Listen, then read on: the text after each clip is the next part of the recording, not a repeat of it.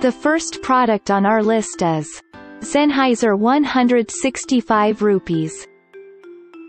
Because the Sennheiser 165 rupees operate on the 2.4 GHz band, they're not subject to the compression that degrades the quality of some Bluetooth transmissions. They isolate sound well, too, so you can turn the volume up quite high without bothering anyone around you. The price is around $141. Check out the product link in the YouTube description below. This product has average 4.2 stars from more than 753 customer reviews. A customer said, The sound quality from these wireless headphones is pretty good, though they're not quite a match for my corded audiophile headphones that cost hundreds more. Sound isolation is pretty strong. It's definitely sufficient that someone can listen at high volume and not disturb other folks in the room and vice versa. There are four buttons on the headphones, one turns the headphones on or off, one turns bass boost uh, on or off and the other two are for volume up and down. The headphones also automatically switch off when you place them on the charging base. Battery life seems to be sufficient for. The next product on our list is Artiste Ad 300. Consisting of a charging base station and a pair of earphones, the Artiste ADH 300 offer latency-free sound at a range of up to 100 feet. They have an RCA stereo input only, but this particular option is bundled with an optical adapter that works with most modern TVs. This product is available on Amazon for $86. Check out. There are 587 customers have reviewed this product, the average rating is 4.1 stars. A customer said, I have a 2017 Samsung Smart TV and after connecting these headphones, I was hearing a flickering, crackling sound. I thought the converter was faulty. But the actual issue is that the audio settings must be changed from default Dolby to PCM. Attaching a video on how to change this setting. The number 3. SteelSeries Arctis 7. While they were designed for gamers, the SteelSeries Arctis 7 are also an excellent way to watch movies and shows without disturbing those around you. They work especially well with home theater PCs, thanks to their comprehensive Windows-based control software. This product is available on Amazon for $119. The number 4. Avantree HD 280. With a sound profile weighted toward the mid and upper ranges, the Avantree HD 280 were created to help those who are hard of hearing enjoy multimedia entertainment. They have optical, coaxial, and RCA connections, and a three-way switch to select the right input. This product is available on Amazon for $90.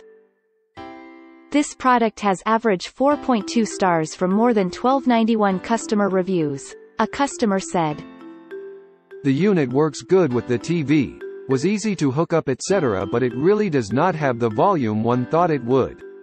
My TCL built-in speakers are actually quite a bit louder, heck every headphone I have is quite a bit louder. Just not enough amp in them for volume or bass. That's my biggest gripe. If you are hard of hearing, they will not help much. The next product is Sennheiser 175 rupees. Bass boost and two virtual surround modes allow the Sennheiser 175 rupees to provide a near cinematic experience, with rich sound across the entire spectrum. Their plush earcups are comfortable and do a great job of isolating you from outside noise. This product is available on Amazon for $200. Check out the link in the YouTube description below. This product is rated with 4.3 stars from 2,265 customer reviews. A customer said, I'm a musician with a home studio. With several sets of headphones all getting old, I decided to invest in some new ones. I've had good luck with Sennheiser in the past so I wanted to check out what they were currently offering.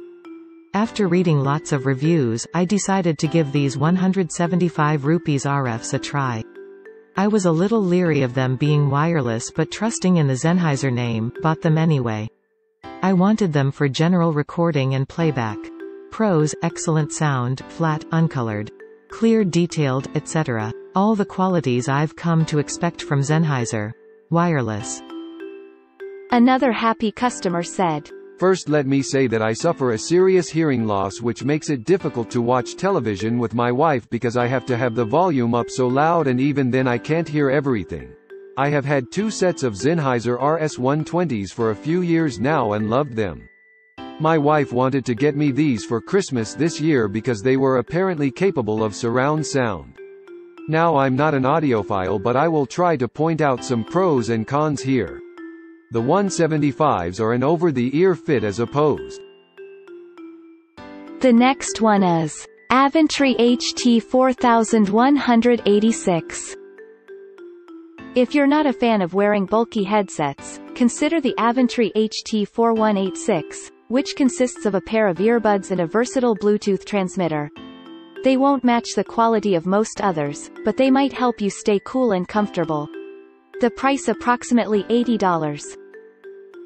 This product has average 4.2 stars from more than 2,737 customer reviews.